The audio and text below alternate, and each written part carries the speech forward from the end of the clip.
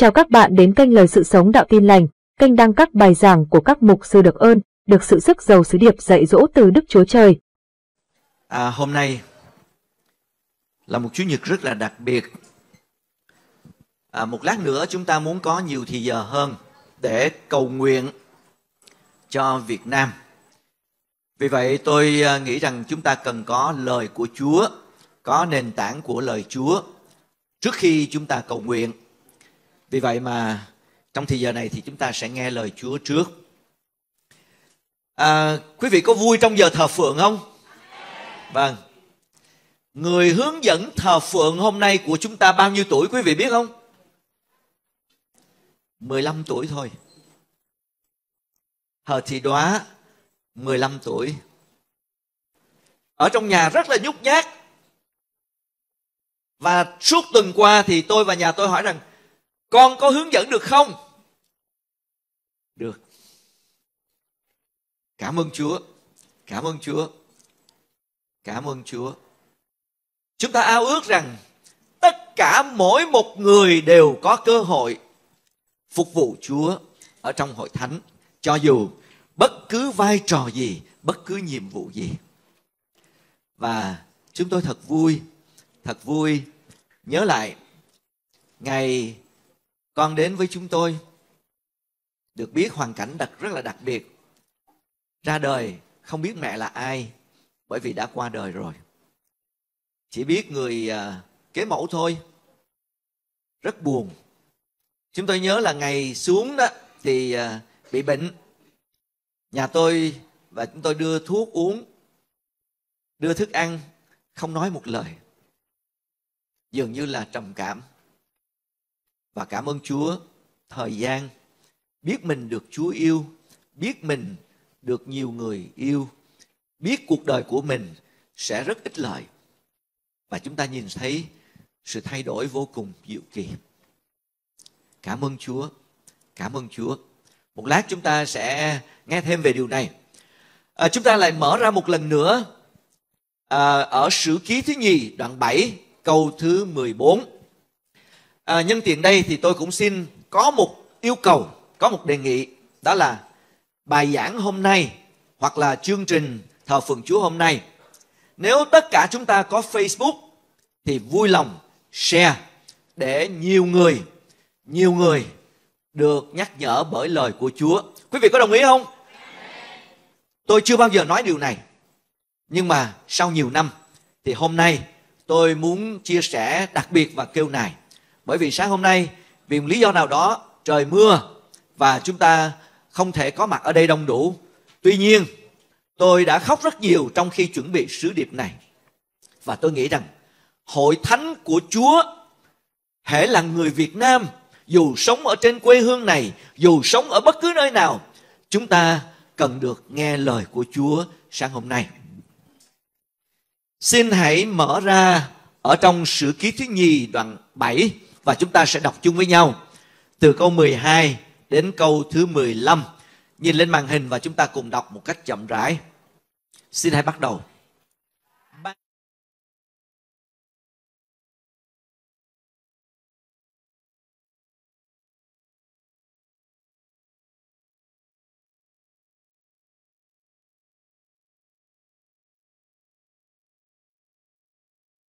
không cho mưa sa xuống khi ta truyền cho cào cào phá hại đất đai, và khi ta giáng bệnh dịch giữa dân ta, nếu dân ta là dân được gọi bằng danh ta, hạ mình xuống cầu nguyện tìm kiếm mặt ta và từ bỏ con đường gian ác, thì từ trên trời ta sẽ lắng nghe, tha thứ tội lỗi họ và chữa lành đất nước họ từ nay, mắt ta sẽ đoái xem, tai ta sẽ lắng nghe lời cầu nguyện tại nơi này.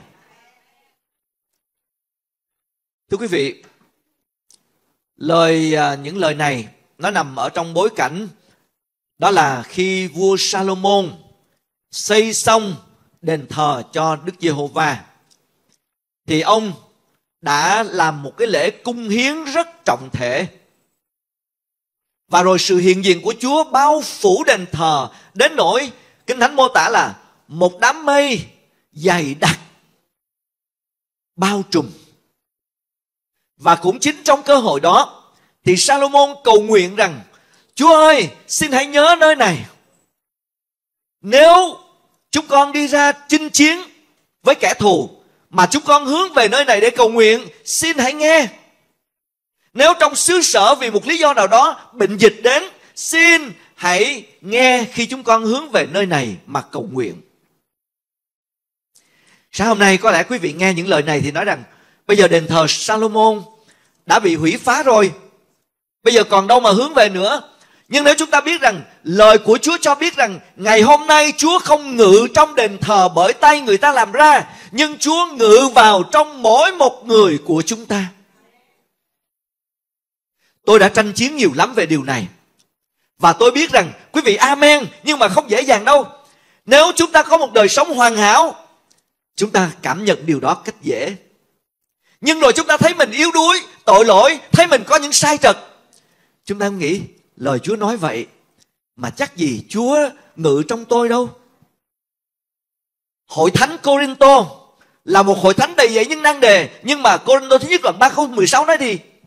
Anh em há không biết rằng thân thể anh em là đền thờ mà Thánh Linh Đức Chúa Trời ngự trong anh em sao? Điều đó có nghĩa là ngày xưa khi có một năng đề nào đó người ta hướng về đền thờ là nơi Chúa hiện diện để cầu nguyện thì Chúa sẽ nghe còn ngày hôm nay chúng ta không cần hướng về đâu cả bởi vì Chúa ở ngay trong tôi, trong ông bà anh chị em. Và khi chúng ta cầu nguyện, Chúa chắc chắn Ngài sẽ lắng nghe và thậm chí còn có giá trị hơn là ngày xưa dân sự hướng về đền thờ mà cầu nguyện nữa. Chúng ta cần xác quyết điều đó. Và Chúa đã hứa gì? Nếu dân ta hạ mình xuống cầu nguyện tìm kiếm mặt ta, từ bỏ con đường gian ác, thì từ trên trời ta sẽ lắng nghe, tha thứ tội họ và chữa lành đất nước họ chắc chắn là trong suốt 10 ngày qua không ai là bàn quan với những gì đang diễn ra trên đất nước của chúng ta phải không một tuần trước là dự báo cơn bão rất khốc liệt 30 năm mới có sẽ đến vào miền Bắc. Rồi sau đó chúng ta thấy hình ảnh của cây cối đổ, nhà bị tốc mái, thậm chí những vách kính bung ra khỏi những cái cao ốc. Rồi chưa hết, tiếp theo đó là cả một ngôi làng bị vùi dưới lòng đất. Lũ nhiều điều lắm.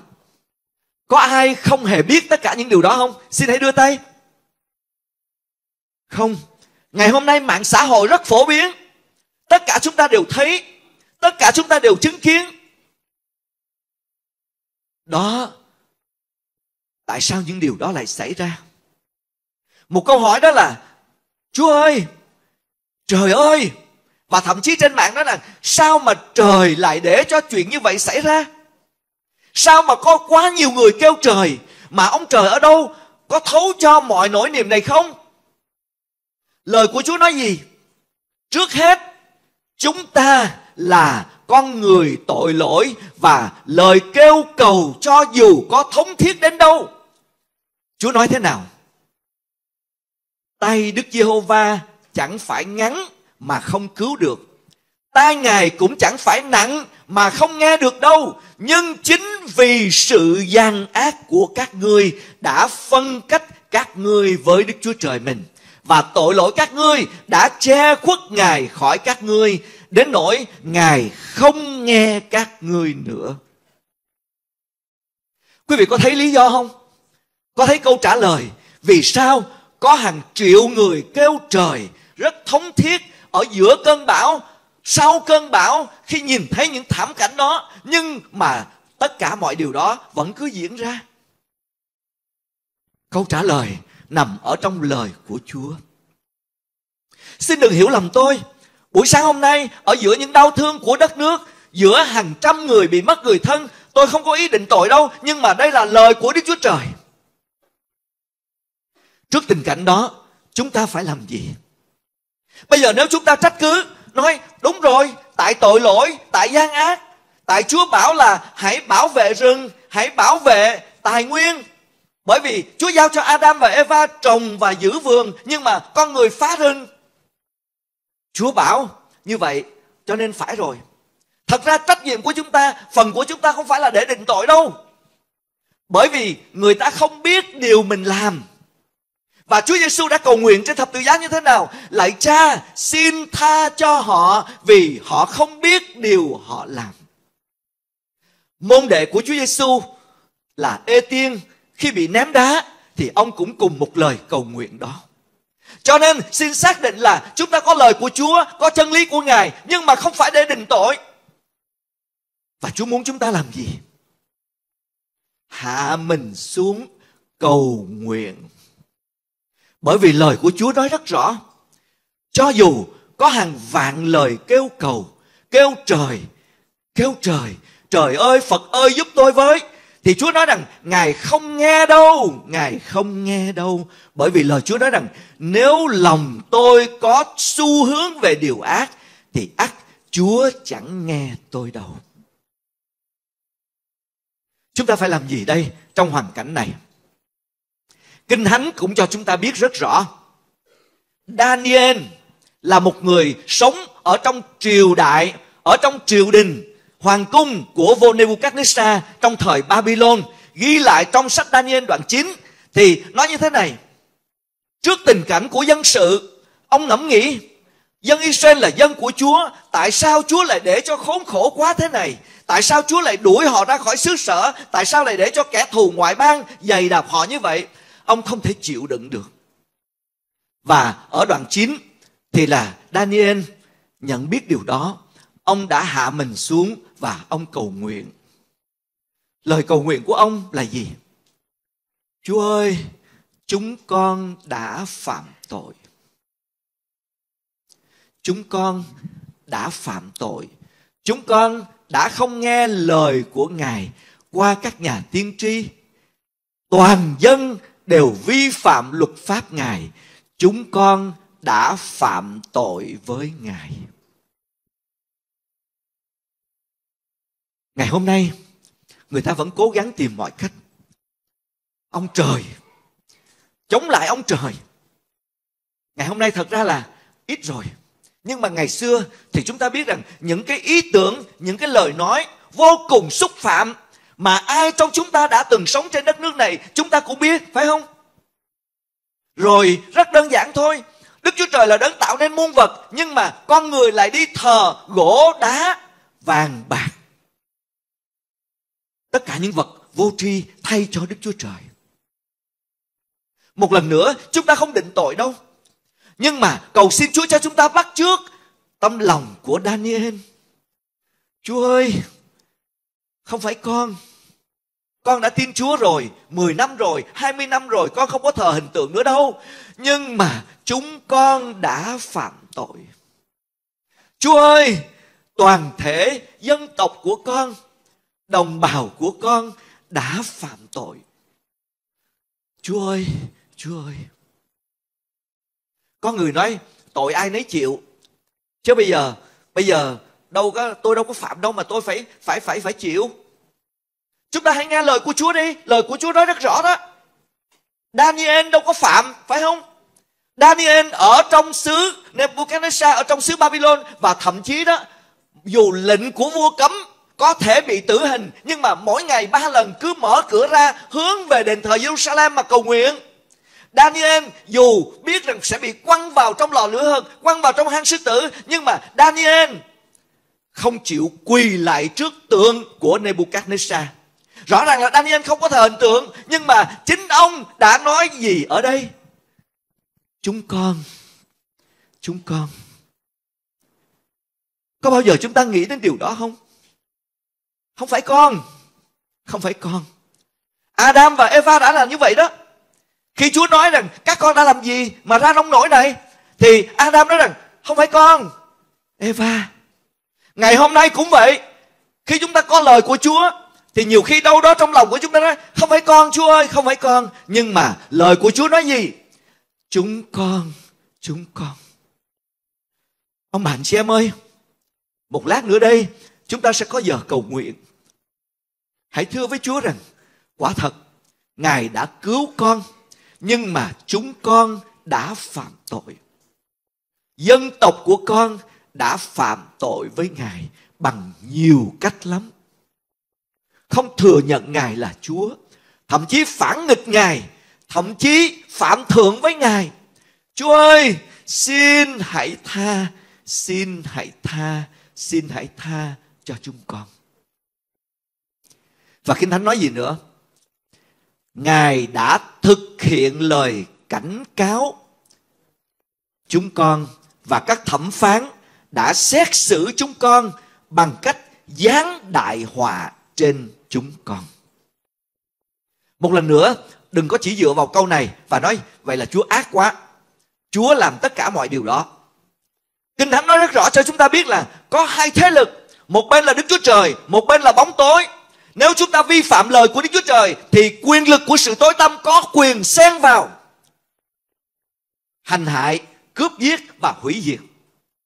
Và Đức Chúa Trời sẽ nói rằng, ta không thể làm gì được, bởi vì đây là luật. Bởi vì người ta đã mở cửa cho ma quỷ, người ta đã thỏa hiệp với ma quỷ, ta không thể làm gì được.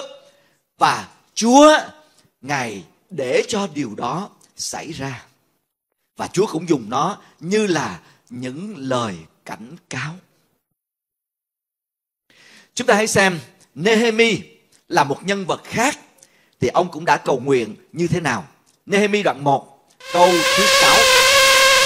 Thật con và tổ phụ con đã phạm chúng con có làm những việc đồi bại chống lại Chúa. Các nếu trong khi Chúa hứa rằng nếu các con phạm tội, ta sẽ làm cho các con tan lạc giữa các dân tộc.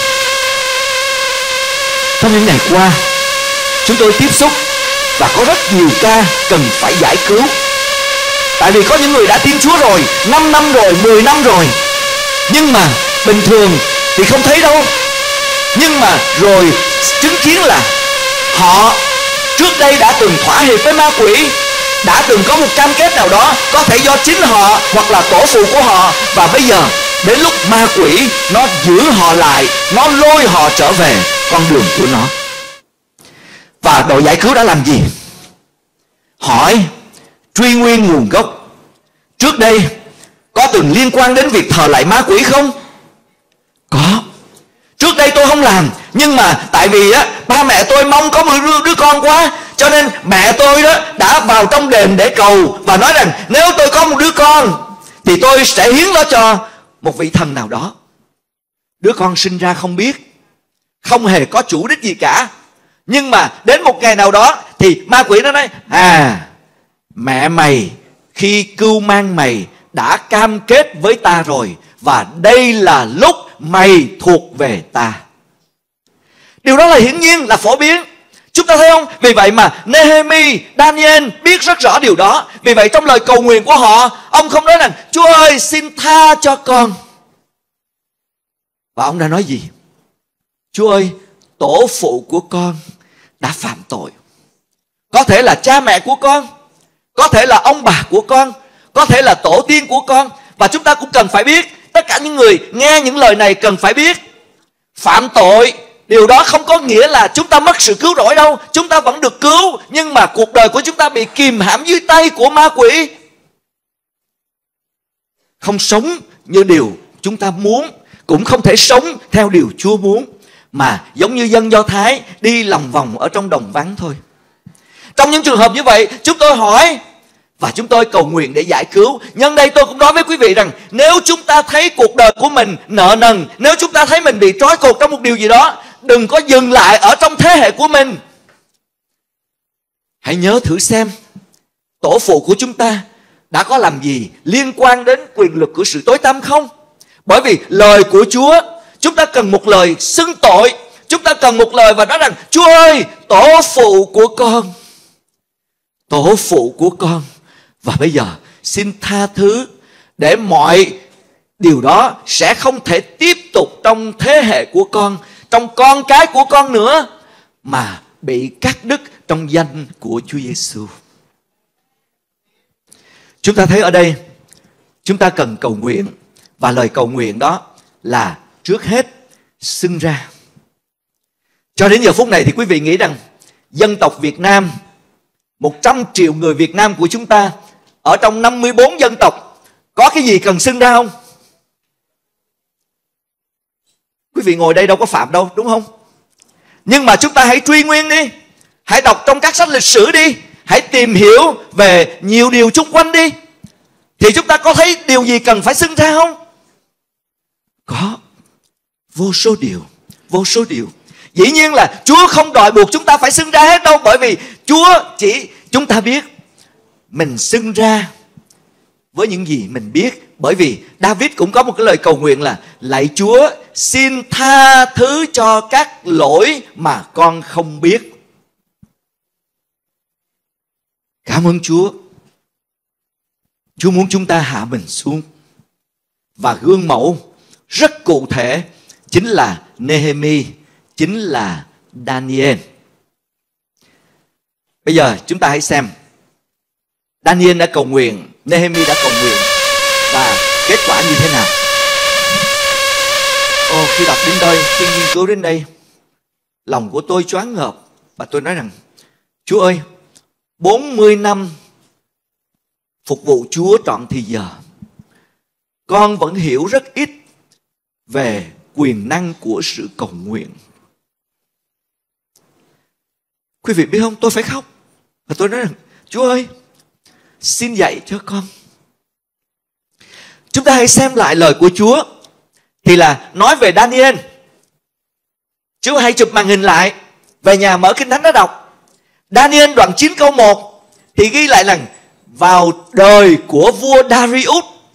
Daniel đọc trong sách tiên tri biết rằng dân sự bị ly lưu đày là vì có phạm tội và Chúa cũng hứa rằng sau 70 năm bị lưu đày thì Chúa sẽ tha thứ cho họ. Và Daniel nói rằng tôi nghe những lời đó. Tôi bèn cầu nguyện với Đức Chúa Trời trên trời. Quý vị đoán thử là cái lời cầu nguyện đó mất 10 năm, 30 năm hay là bao nhiêu năm để được trả lời? Ồ, tôi không thể ngờ được. Chỉ một thời gian rất ngắn thôi, ông bạn chị em ơi. Bởi vì lịch sử cho biết rằng đời vua Darius sau đó vài năm vua Darius không còn nữa và vua Siru đã lên ngôi và vua Siru là người chu cấp tất cả tiền bạc tài chánh tài nguyên để dân Israel trở về quê hương của mình và được phép xây đền thờ Salomon trở lại, đền thờ Jerusalem trở lại. Ồ, không thể ngờ được. Có lẽ lâu nay chúng ta có cầu nguyện có lẽ lâu nay có một người cầu nguyện xin Chúa cho mình có người bạn đời. Có lẽ lâu nay chúng ta cầu nguyện xin Chúa giải quyết tình trạng của mình. Có lẽ chúng ta cầu nguyện cho nhiều lĩnh vực. Nhưng mà rồi dường như là thấy Chúa không đáp lời. Và chúng ta nghĩ rằng, Ôi, cầu nguyện cho cái chuyện lớn lao như vậy á, Thì sao mà nhanh chóng được Nhưng mà quý vị có biết không Ồ, Khi Daniel cầu nguyện, Chúa đáp lời một cách chóng vánh luôn Ông đang sống trong đời của vua Darius. Chỉ mấy năm sau thôi thì vua Siru lên ngôi. Và mọi thứ thay đổi hết. Darius thì là đồng lòng với Nebuchadnezzar, tổ phụ của mình, bắt dân Israel làm phu tù, lưu đày ở tại Babylon đến nỗi dân Israel phải khóc là, chúng tôi ngồi bên mé sông Babylon, bèn nhớ lại Sion và khóc nhưng sau đó một vua khác lên, thay đổi hết Chúa của chúng ta là ai Chúa của chúng ta là đấng vĩ đại. Chúa của chúng ta là đấng thay đổi. Chúa của chúng ta là đấng có quyền. Ngài giấy người này lên, Ngài hạ người khác xuống và rõ ràng là khi Daniel cầu nguyện, điều đó đã xảy ra vô cùng nhanh chóng. Chúng ta hồi nãy học về lời cầu nguyện của Nehemi. Chụp hình màn hình và về nhà đọc lại. Ngắn thôi. Nehemi đoạn 1 câu 1 thì mô tả là, vào tháng Kích Lêu dưới đời của vua Artaxerxes, tôi, Nehemi, làm quan tửu chánh của vua. Khi nghe tin về thành Jerusalem, bị người kẻ ngoại bang phá hủy, các vách thành của nó bị thiếu rụi, không có bảo vệ, thì tôi bèn khóc tôi bèn cử ăn và cầu nguyện với đức chúa trời. Kinh thánh chính xác thời điểm đó là tháng kít lêu có nghĩa là khoảng tháng 11 tháng 12 dương lịch. Cùng một đời vua đó chỉ là qua một trang thôi thì là tháng Nisan theo lịch của người Do Thái có nghĩa là tháng 3, tháng 4 theo dương lịch. Thì kinh thánh nói thế này nhưng khi tôi ngồi trước mặt vua thì vua bèn hỏi, ngươi có bệnh không? Mà sao mặt mày của ngươi lại tồi tệ như vậy? Và Nehemi bắt đầu kể ra, vua ơi, tôi khỏe mạnh hoàn toàn, tôi không có lây bệnh cho vua đâu, sở dĩ tôi buồn là vì dân sự của tôi, đồng bào của tôi ở quê nhà đang bị như vậy đó. Và rồi Artaxerxes nói gì? Ngươi muốn gì? Shiru nói ngay. À xin lỗi, Nehemi nói ngay. Tôi chỉ muốn xin phép một thời gian để trở về, xây lại vách thành Jerusalem. Vua nói, chuyện đó quá dễ. Kinh thánh mô tả, Artaxerxes sai thảo một chiếu chỉ, gửi truyền lệnh cho tất cả các quan tổng đốc ở bên này sông bên kia sông đây là con người đã được lệnh vua sẽ cho về, xây lại tường thành và chúng ta biết không? Điều đó thật ra cũng không phải dễ dàng đâu, bởi vì ông về gặp áp lực này, áp lực khác, nhưng cuối cùng trong 52 ngày, tường thành đã được xây dựng. Nhân cơ hội này, chúng ta cũng nói thế này nè Sao hôm nay chúng ta bắt đầu được thuyết phục bởi lời của Chúa và cầu nguyện. Có lẽ xác thịt của mình nó cũng chống lại mình. Những người chung quanh vô tín ngay cả tín hữu nữa cũng có thể chống lại mình. Nhưng mà chúng ta biết đây là trận chiến thuộc linh Và Nehemi là một bằng chứng. Lời cầu nguyện này bao lâu? Từ tháng 11, tháng 12 Đến tháng 3, tháng 4 là được đáp lời. Trong vòng một quý à, phải không? Tại sao tất cả những lời này lại được ghi lại như vậy? Tại sao tất cả những chi tiết này lại được ghi lại ở trong lời của chúa trong kinh thánh bởi vì chúa ở trên trời muốn nói với chúng ta rằng nếu dân ta hạ mình xuống cầu nguyện thì ta ở trên trời sẽ nghe tha thứ tội chúng nó và cứu xứ sở đất nước họ khỏi tai vạ Thưa với hội thánh, tôi cũng đã từng cầu nguyện cho đất nước. Tôi cũng đã kiên ăn cầu nguyện 40 ngày. Nhưng sáng hôm nay, khi đọc những lời này, lòng của tôi sững sờ. Chúa ơi, sự đáp lời của Ngài có thể đến trong nháy mắt. Trong một thời gian rất ngắn. Rất chóng vánh. Nhiều khi chúng ta nghĩ rằng sao Chúa không đáp lời? Và chúng ta lập trình để Chúa đi theo cái cách của con này Chúa và Chúa nói con là Chúa hay ta là Chúa nếu con là Chúa thì con làm đi và Chúa im lặng nhưng mà sang hôm nay chúng ta thấy đó đối với đối với trường hợp của Daniel thì Chúa đáp lời bằng cách là hạ Darius xuống, giấy vua Siru lên. Đối với trường hợp của Nehemi thì Đức Chúa Trời dùng chính cái vị vua đó. Ban ân huệ cho Nehemi. Và chúng ta biết, Nehemi đã từ một vị quan dân rượu trở thành quan tổng đốc tổng đốc của xứ Juda lạ không? Buổi sáng hôm nay tôi nói với tất cả quý vị đang ngồi ở đây Nghe sứ điệp này Tôi muốn nói với tất cả các đầy tớ của Chúa. Nghe lời này. Nếu chúng ta không quan tâm Nếu chúng ta coi thường Có lẽ chúng ta đang là quan dân rượu sẽ mãi mãi về hưu luôn với cái chức quan dân rượu và chết với danh nghĩa quan dân rượu. Nhưng nếu chúng ta vâng theo thánh linh của Đức Chúa Trời, đáp ứng với lời mời gọi của Ngài mà cầu nguyện, có thể lắm chúng ta chắc chắn một điều là từ quan dân rượu sẽ trở thành tổng đốc của xứ Juda bởi vì đây chính là điều mà Chúa làm trên Nehemi. Quý vị có muốn không? Có muốn bắt nhịp với Ngài không? Ông bạn chị em ơi, nghiêm túc rất nghiêm túc bây giờ chúng ta đi qua trong những ngày qua những hình ảnh này chúng ta đã thấy rất nhiều và thậm chí thấy những hình ảnh còn tồi tệ hơn nữa phải không Sao hôm nay đây là những hình ảnh chính thức từ Việt Nam Net. Những con người mất người thân, đau khổ đến cùng cực. Ngôi làng từng là những căn nhà có mái ngói đỏ, bây giờ không còn gì hết.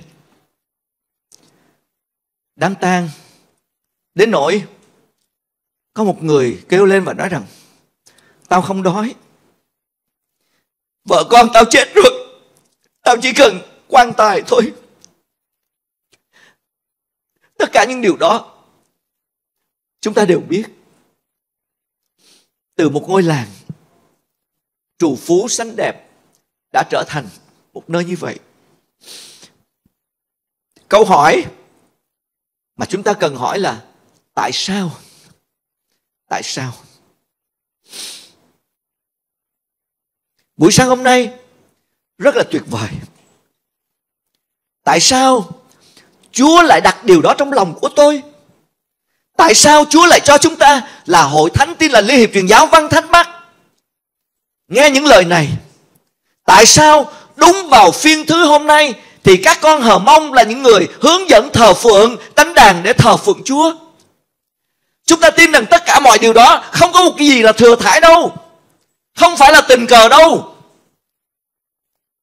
Chúng ta biết rằng người Hờ Mông ngày hôm nay tính tỷ lệ số tín đồ tin Chúa ở trên đất nước này thì là cao nhất là người Kinh, là người dân tộc của chúng ta đó. Chúng ta dân tộc Kinh.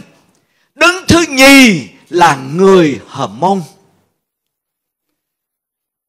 Có thống kê năm 1000, năm 2019 đó, thì lúc bây giờ đã hơn 270.000 người Hờ Mông tin nhận Chúa. Ngày hôm nay chắc số lượng đó nhiều hơn. Chúng ta ngày hôm qua suốt những tuần qua chúng ta nghe nhắc đến làng nú chúng ta nghe nhắc đến ngôi làng đó. Chúng ta nghe nhắc và rồi chắc hẳn còn nhiều năm nữa vẫn nghe nhắc ngày hôm qua thì tổ chức của một sư Billy Graham thành lập ngày xưa có tên là cái túi của người Samari Samaritan Pearl đã cất cánh một chuyến bay DC-8 với 3.000 phần cứu trợ gồm hệ thống điện mặt trời, gồm hệ thống lọc nước, gồm chăn màn, gồm đầy đủ nhu yếu phẩm, 3.000 phần quà và dự kiến sáng ngày mai sẽ đến Việt Nam. Hãy để ý đi, tất cả những điều đó không phải tình cờ đâu. Chúa muốn nói gì? Chúa muốn nói gì? Mời các con hãy bước lên đây, Để một lát nữa sẽ thờ phượng Nhanh chóng lên các con Cả nam và nữ Chúng ta là người ở thành phố Chúng ta nghe, Chúng ta thấy Có người thì xích xoa, Có người thì đổ nước mắt Nhưng mà thật ra đó nó cũng chưa tới đâu, Phải không quý vị? Cho đến khi con của mình, Cho đến khi người nhà của mình nằm ở dưới đống bùn, đem xác lên không toàn vẹn đó, chúng ta mới thấy, tôi biết cho đến giờ này nhiều cơ đốc nhân xem, nghe và biết rằng hàng trăm tín đồ tin lành ở trong cơn thảm họa. Nhưng mà nó không phải là chuyện của tôi. Hãy trả lời thành thật đi. Nó không phải thuộc hệ phái của tôi. Tôi là người kinh. Họ là những người mông họ là những người dân quê tầm thường. Hãy nhìn những khuôn mặt này.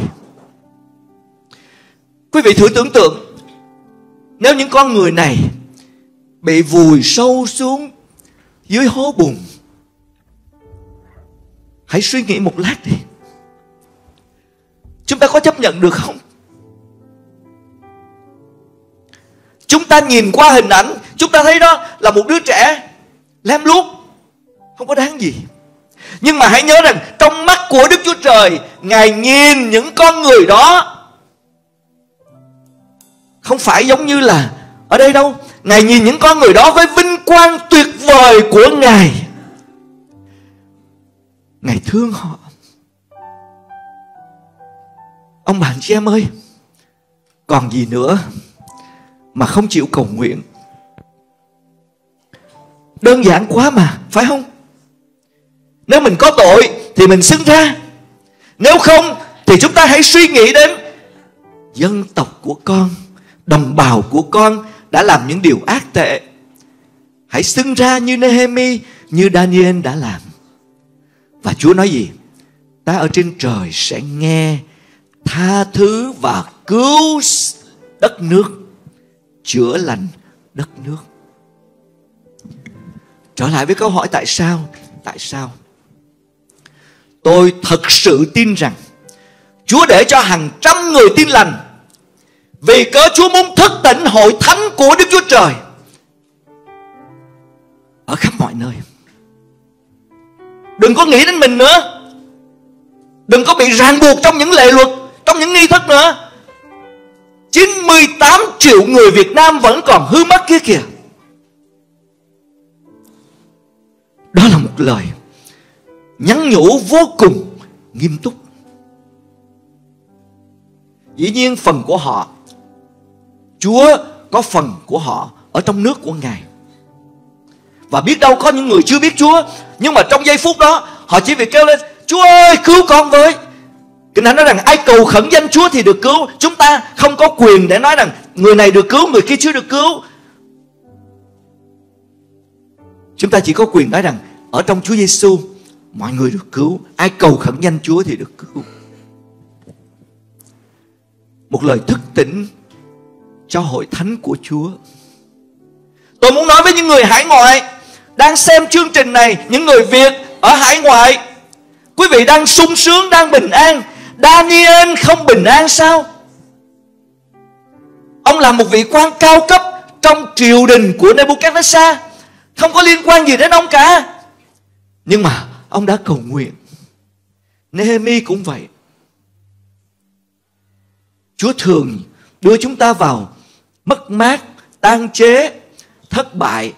Thật ra là Chúa muốn đuổi chúng ta vào trong sự cầu nguyện. Thưa hội thánh của Chúa trên đất nước này.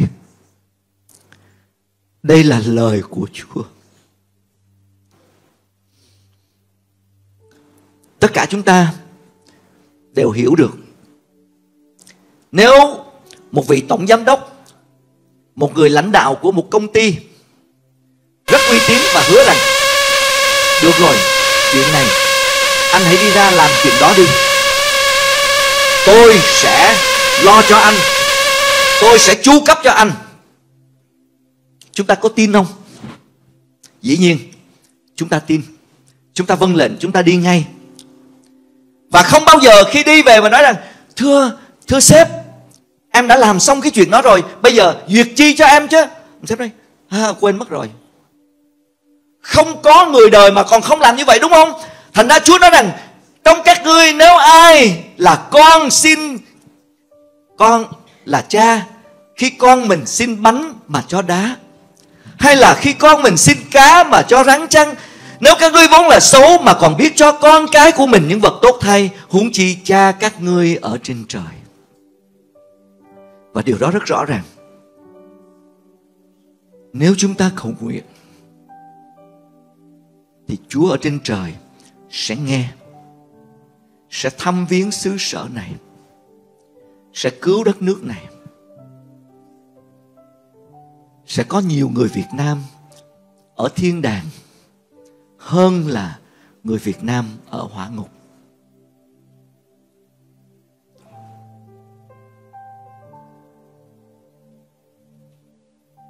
Đây là tiếng kêu gào. Tôi cũng chỉ là một đầy thơ của Chúa.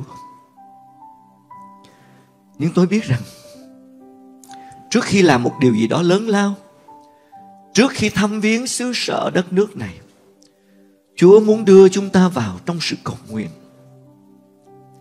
Không phải một vài người, mà dân sự của ngài. Bây giờ, lên đài truyền hình để nói với tất cả dân chúng việt nam là cầu nguyện đi. Họ có biết chúa đâu mà cầu nguyện cho nên đây là mạng lệnh dành cho chúng ta, là con trai, con gái của Đức Chúa Trời, là dân sự của Chúa. hãy cầu nguyện. Xin chúng ta hãy đứng lên. Ban thờ phượng. Chúng con hãy thờ phượng chúa. Thánh linh của ngài hiện diện ở đây. Ngài cảm động lòng của chúng ta.